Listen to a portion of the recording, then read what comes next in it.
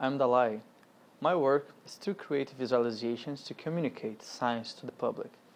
With the help of computer graphics, we can make science more accessible and even enjoyable for a wider audience than traditional media can reach.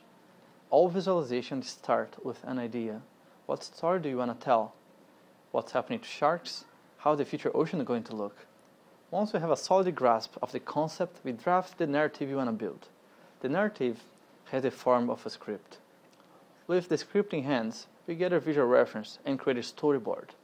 The storyboard helps to guide along the production and it gives the scientist a feel for what the final production might look like.